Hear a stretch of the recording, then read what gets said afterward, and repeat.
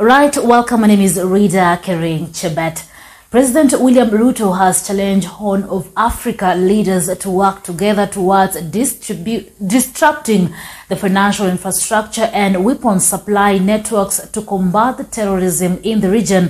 President Ruto, who spoke on Wednesday during the Frontline State Summit in Somalia's capital Mogadishu, also called for a joint effort in sanctioning the enablers of terrorism in the Horn of Africa.